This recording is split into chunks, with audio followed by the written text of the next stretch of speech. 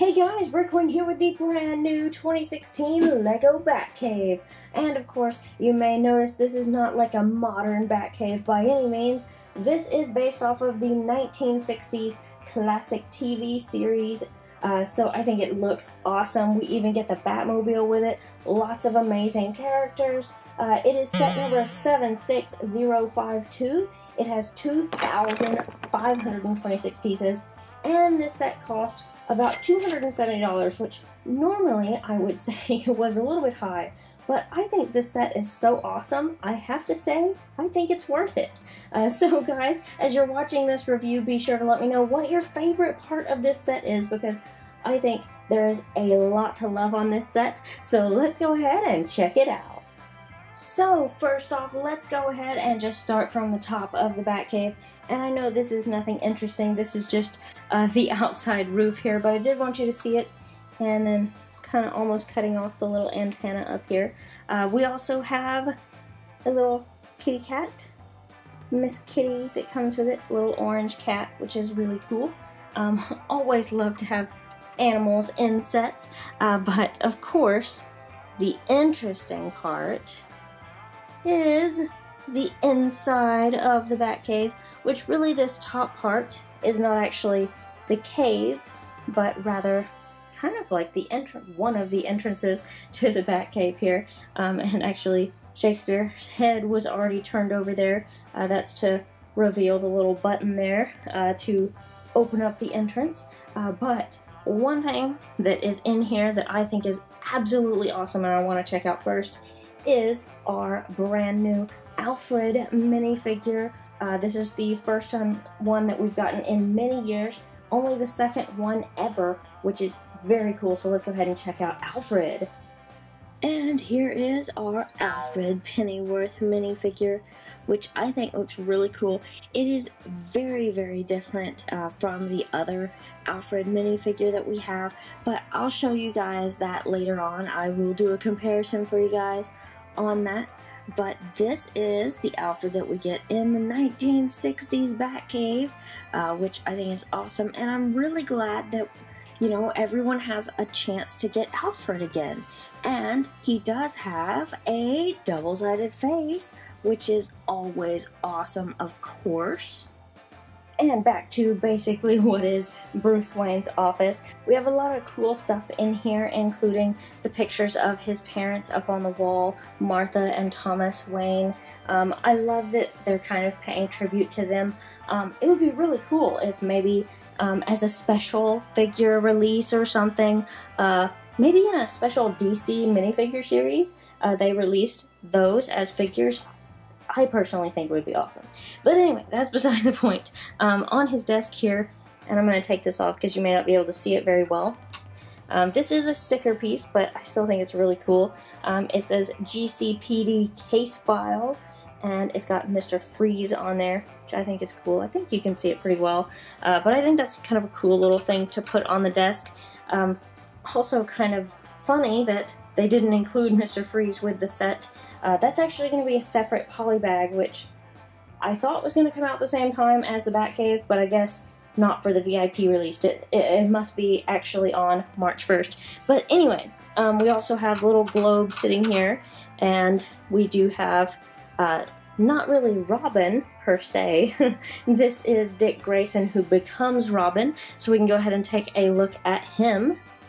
And this is Dick Grayson, who is one of the Robins. Uh, which I think is really cool that we actually get a Dick Grayson minifigure.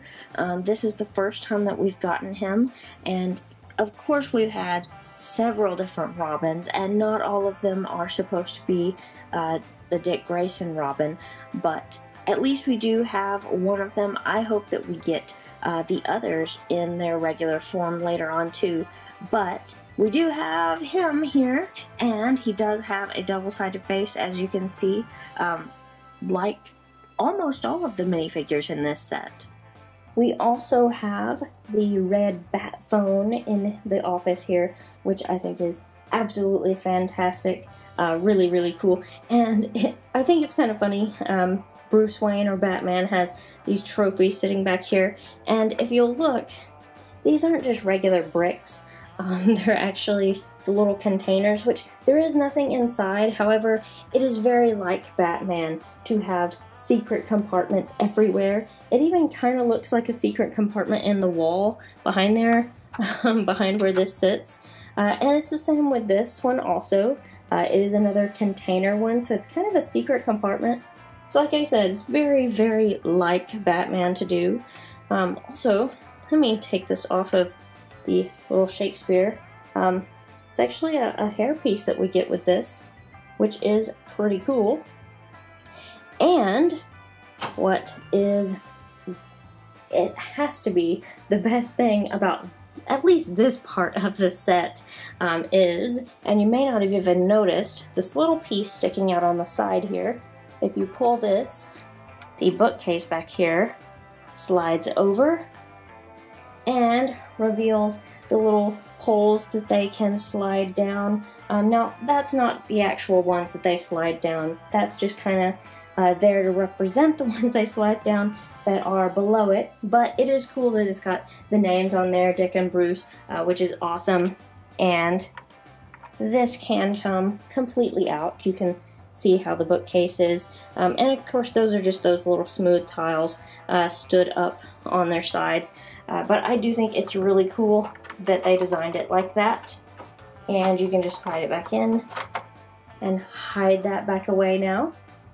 So here is the part directly below the Wayne Manor section, um, and you can see some bats hanging out in here, uh, and because this is part of the bat cave, of course we're going to have some bats hanging around in different places, and you can also see uh, inside here we do have the poles that I was talking about, them actually uh, coming down, uh, kind of sliding down the poles like they do in the show, which is really pretty cool. And uh, we have little, kind of like little levers that they can actually kind of sit on uh, to keep them up at the top, and then you can just uh, flip the lever and they'll come uh, sliding down the pole. So um, I do have Robin set up in there. I know the top part's kind of dark, so you might not be able to see it very well, but you will when he slides down in three, two, one, go! okay, that was not nearly as dramatic as it should have been, but anyway, you get the point. Um, we do have the little swirl uh, there that they can come down. It didn't swirl all that well, but that's beside the point. You do have one of these little levers on each side, so you can have Batman on one side and Robin on the other, which of course is awesome. And speaking of Robin, since we do have him there, let's go ahead and check out our 1960s boy wonder. And here is a close-up on our 1960s Robin minifigure, which I think LEGO did a really good job on. Um, I really like the design on this. I love that they, they even gave him a little short cape, which is awesome. And let me go ahead and let you uh, see the back printing here and we'll go ahead and keep spinning it around so we can see the rest of it. Uh, the front has, you know, most of the detail is on the front and I just, like I said, it, they did a great job on it. And this minifigure does have a double-sided face. I, think I've already mentioned once before that almost every figure in the set has a double-sided face, and I'll show you the one that doesn't later on.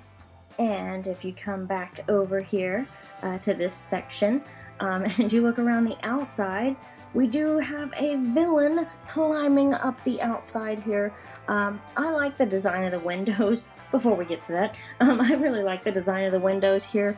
Uh, I think it's kind of cool. It's very detailed, um, especially just for you know the outside of the building. It's uh, it's not supposed to be anything fancy, but it does look pretty cool in my opinion.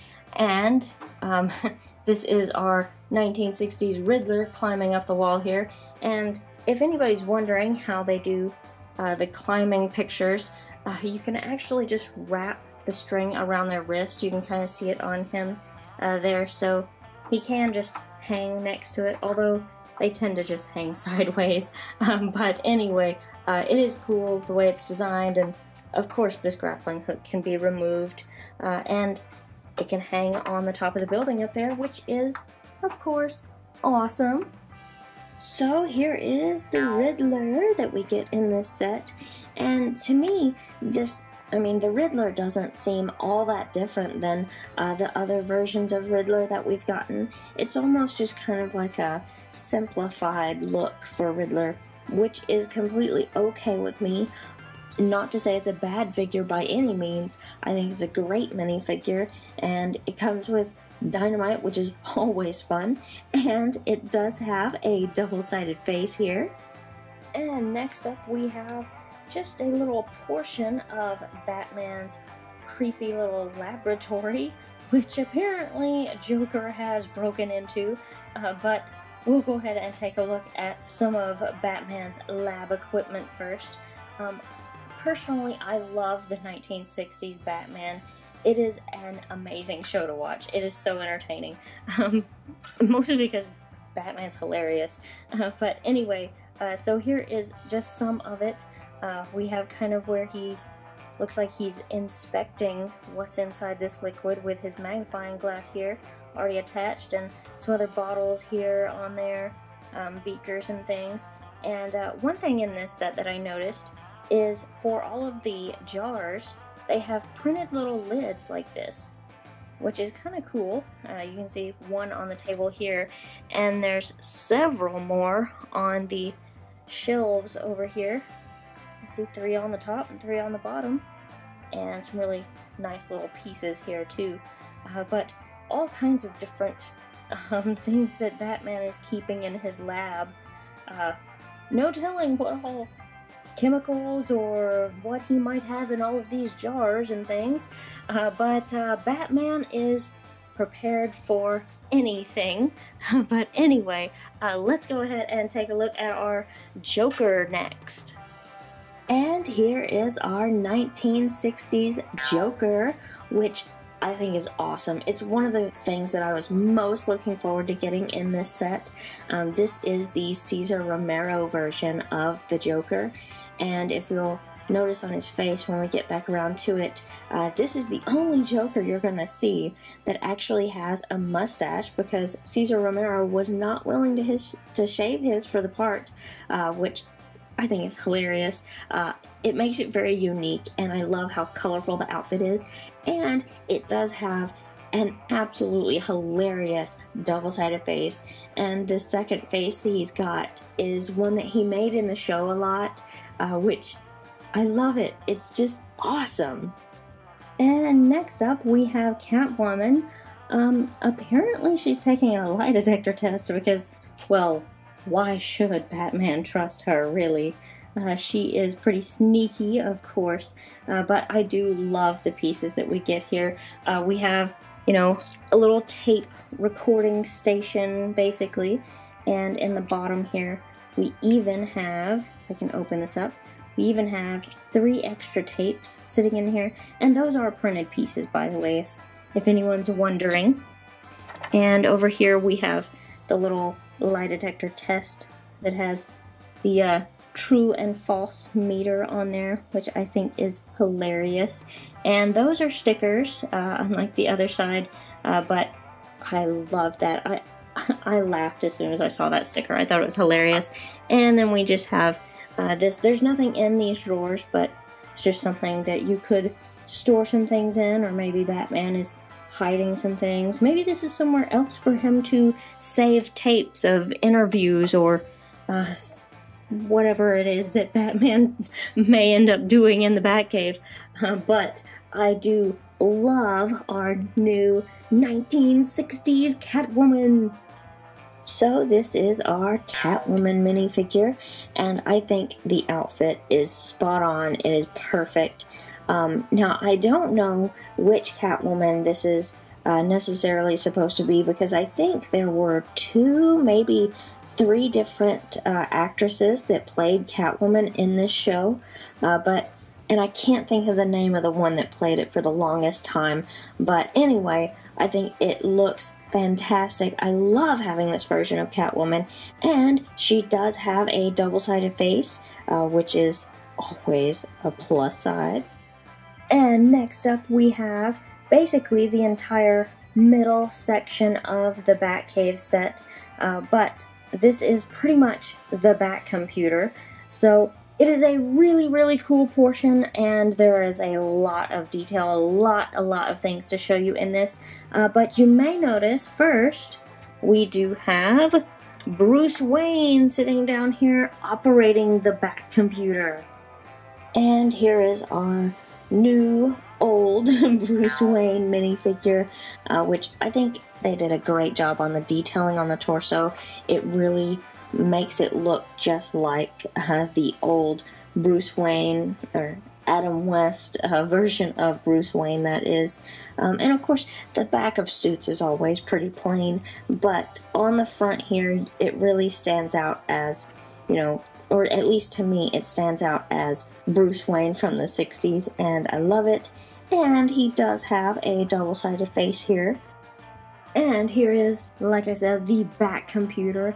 And there's a lot of stuff around the outside here, um, like these little units on the side here, like this. And we have some different sticker pieces on here, uh, different screens he's got for the computer.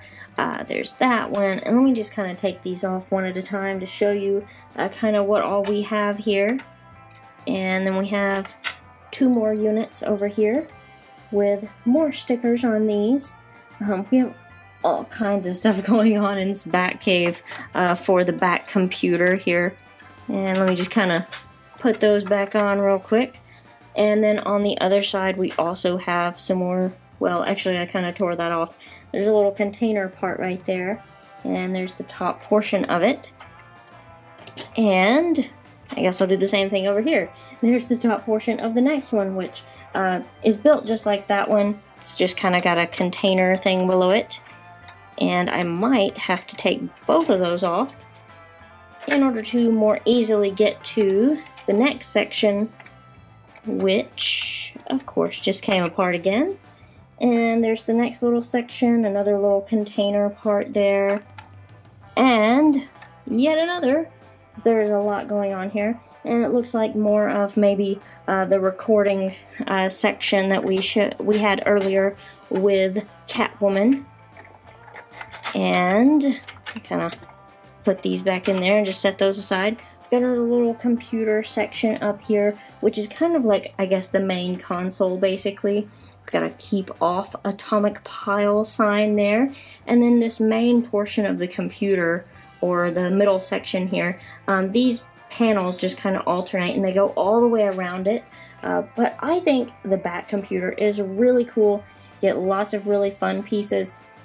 And I know that there are a ton of stickers in this set. However, it's such a big set, I don't have a problem with the stickers. I think they add a lot of fun to this set. Uh, but you can let me know your thoughts about it in the comments below while we check out more of this set. And here is just one of the vehicles that you get in this set. Uh, this one is the Bat Cycle, which even has a little side cart there uh, that Robin can ride in. And here we have finally Batman himself, or the Adam West 1960s Batman, which looks awesome. And uh, let's go ahead and take him off for a second so we can kind of look at the cycle a little bit more. There is kind of the top view of it, and it even has a spare tire on the back, which I thought was really cool. Uh, but let's go ahead and check out Batman next. And here is our 1960s version of Batman. This is, of course, based off of Adam West's Batman. And I think they did a great job on it. The detailing is really nice. And on the back, um, underneath his cape, of course, uh, he does have a belt printed on the back. Um, the rest is pretty plain. But I think the 1960s version of Batman turned out awesome, and the detailing on the mask is great. I know they basically just had to add the lines on it um, and a little bit of black right around the eyes, but I still think they did a great job on it. And he does have a double sided face, so he has two different mouth uh, expressions on this one, so that's pretty awesome too. And here is the final section of the Batcave, or at least the top portion of it. Uh, this features the landing pad for the Batcopter. And speaking of the Batcopter, obviously you can't miss it sitting right there. Um, it is bright red and looks awesome in my opinion. Uh, we do have the awesome bat wings on each side. It even has flick fire missiles right here uh, on both sides there. And it does have a few stickers like these on the sides here and on the back, but this glass piece is printed, which I think is awesome. It looks really cool. It's kind of just part of the bat symbol, kind of makes it look like the head of Batman. Uh, and of course, you can fit a minifigure inside there to control it. Uh, but I just think that they did a fantastic job on the Batcopter here. And let's go ahead and check out the landing pad. This was the most difficult part to do for stickers uh, because that is two giant stickers you have to line up uh, just perfectly, which is, well, it can be pretty difficult, but it looks awesome when you get it finished. Um, and it looks like we have a another minifigure landing now. So let's go ahead and check out our penguin minifigure. And here is our final minifigure for this set. This is the penguin, and he does have some nice printing. And this is the only minifigure in this entire set that does not have a double-sided face. And obviously that's because of his top hat. It, it would look odd if you turned around and there was a, another face there. It can be a Dr. Jekyll, Mr. Hyde kind of thing. Um, but anyway, he does come with his umbrella that you can see there and this is, I think, one of the few times that he does not come with any little miniature penguins, uh, but that's totally okay. It's still a really great minifigure. And here is the final section of the actual cave. Uh, this is directly below uh, the landing pad that we were just looking at. Uh, and basically, it's Batman's garage, um, pretty much. Um, obviously, we have the 1960s Batmobile here, and it looks awesome. So let's go ahead and check that out. And finally, this is our 1960s Batmobile, which I think looks awesome. It doesn't have, you know, the bat fins on the back like we're really used to, but this is the classic Batmobile, and it looks awesome in my opinion. And let's go ahead and start from the back right here uh, because if you lift this part up, lift that section, then it opens it or re releases it rather to open the trunk up and you can actually store things like batarangs in the back here which is very cool. I love it when they actually come with storage compartments like that. And if we continue back around to the side, um, the wheels I love, and I know this is just such a small detail, but these little pieces on the wheel, those are printed pieces. They printed it for all the wheels, which is awesome. now, that one is a sticker, and right up here is a sticker. Let's go ahead and zoom in a little. Uh, so now you can see the uh, middle section of the Batmobile a lot better, like that sticker right there. And Here's the inside, which I think looks awesome. I love that it even has the bat phone in here. Um, not often do you get a Batmobile that actually has the bat phone in it. So I think that is a really, really nice touch. I love these clear pieces for the windshields. It looks awesome. And obviously you can fit both Batman and Robin in the car, as you can see, and that I think is awesome. I love it when they design the vehicles that are actually practical for the figures they're supposed to work for. Um, also, in the front here, we do have two stud shooters right here, and you guys know how the stud shooters work. You just push down right here, and the studs fire off like that. And I'm sure I've got some extras around here somewhere, but I can always find those later. I just wanted you guys to be able to see the Batcave, the Batcave and the Batmobile uh, in all of its wonderful glory. Uh, so you can let me know uh, what you let me know what you guys think about this Batmobile um, and what, if anything, you would change about it. So now that you guys have seen the entire 1960s Lego Batcave, let me know your thoughts about it in the comments below. And be sure to let me know what your favorite part or favorite minifigure was in this set or what you would change. And be sure to give us a like for Batman. And don't forget to tune in next time. Same bat time, same bat channel. Want to be included in one of my videos?